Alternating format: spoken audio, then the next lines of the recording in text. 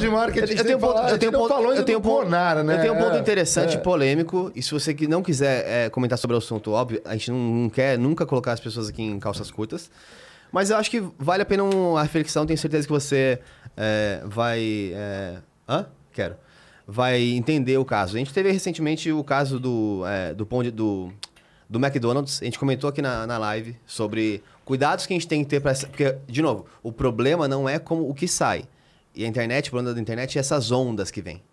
Então gerou-se um grande buzz por trás do Qual é? McDonald's. Do O picanha não tem picanha? É. Não, agora. Aí todo mundo assim, ah. Todo mundo riu, falou, achei que, que da hora, porque o McDonald's se ferrou, porque tem, vai ter que retirar o agora o Burger. King também saiu do Burger King. Porque, e o que eu avisei no dia? Semana passada, eu falei, cara, quando você não para essas coisinhas, ainda mais na internet, esses movimentos, vai querendo mais, vai querendo mais. É, e aí tirou escala. o, o Uber agora. Daqui a pouco não pode mais, sei lá, o uma um biscoitinho sabor churrasco. Daqui a pouco, se você. A Coca-Cola não tem Coca, gente, viu? Não sei se é segredo É, pra vocês, não, mas a Coca- tinha Coca lá atrás. Não, o nome veio disso, gente. A Eu sei, Coca velho. vinha de pedacinhos de folha de Coca lá atrás. Óbvio que, que bom que parou de ter. Mas então não pode ter o nome?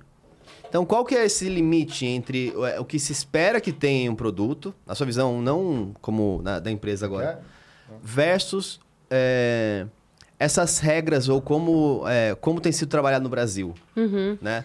Ou- acho que a gente teve na- no, no ramo de cervejas muito também essa discussão no passado, quando vinha, talvez sim, abusos em relação à, à objetificação da mulher, é, uma infantilização muito grande, quando tinha até, teve o, acho que era da carne, os bichinhos. no- na- nas cervejas, né? Quais A são, os, tartaruga, quais são os né? cuidados e como que a, a- o mercado de, de cerveja evoluiu? Eu Tenho certeza que vocês conversam sobre isso, não a parte de Ah, com concorrência, mas sobre certeza, eu cultura, né? sim.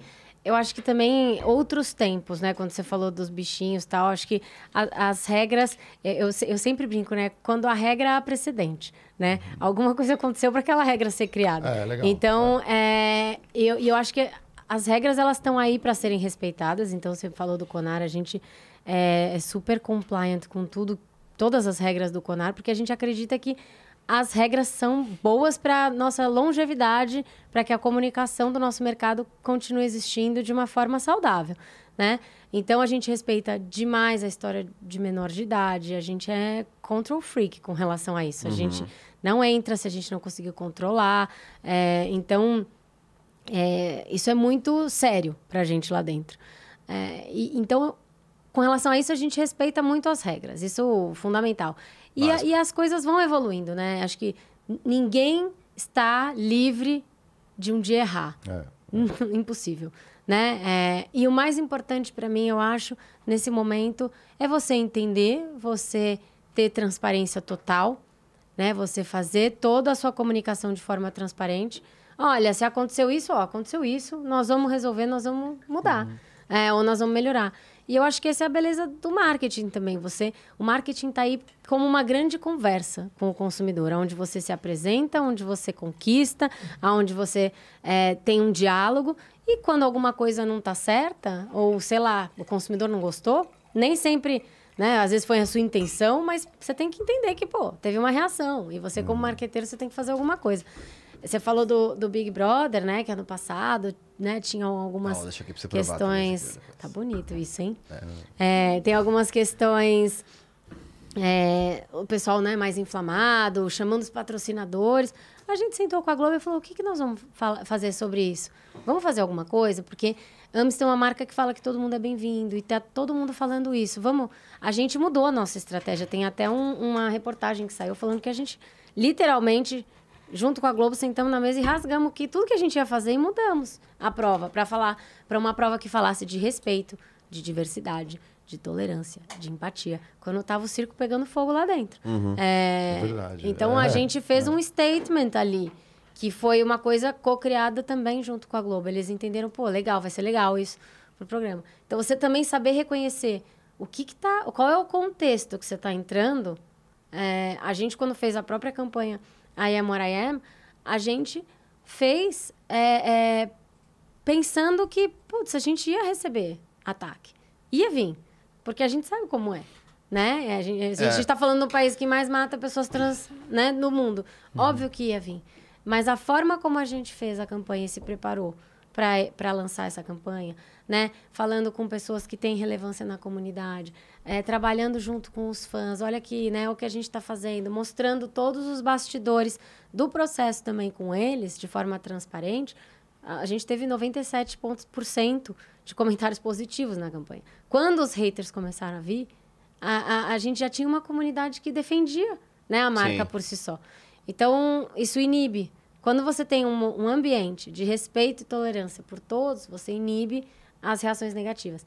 Então, isso é, é uma coisa que, para mim, é fundamental. O marqueteiro, ele precisa né, entender qual é o contexto que ele está entrando. Uhum. Ele precisa ser extremamente transparente com o que está acontecendo. Mesmo quando a gente reviu a estratégia da campanha, a gente falou, estamos revendo a estratégia no Big Brother. A gente mudou a estratégia para isso que vocês vão ver agora. É, então precisa dessa transparência. Uhum. E você precisa responder ao que está acontecendo. Você não pode ignorar. O consumidor está te falando um negócio e você, né, é. finge que não está. Mas, mas, por exemplo, a forma de lidar com é, crises, uhum. né? O fato de você, obviamente, é, analisar uma situação, aí se isso acontecer, você tem que estar tá necessariamente preparado com o teu time e responder imediatamente, Sim. né? Porque isso faz parte do jogo, né? A internet ah. é uma arena. É. Né? Muitas vezes você não tem controle do que vai escalar e do que não vai, né? Então rola essa, essas conversas, né? Puta, e se acontecer isso, como rola. é que a gente vai se posicionar, né? Rola. Parte do lançamento de uma campanha é o que a gente chama de risk assessment. Isso é modelo de governança corporativa, né? Você precisa fazer o acesso de todos os riscos que todos os movimentos da companhia podem, podem gerar. Até para você ponderar se faz sentido você fazer ou não. É, e, e você entendendo quais são os riscos, ponderando o que, que pode acontecer, você ter é, estar preparado para isso. Mas é muita coisa. Assim, olha, eu, eu comecei a trabalhar com marketing em 2003.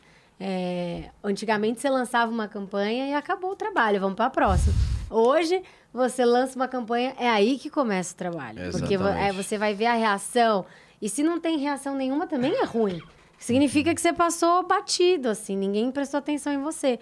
Então a gente quer uma reação e a gente quer uma reação positiva. Propositiva, né? É, mas quando acontece de ter uma reação negativa, você tem que agir em cima e tem que agir rápido. Né?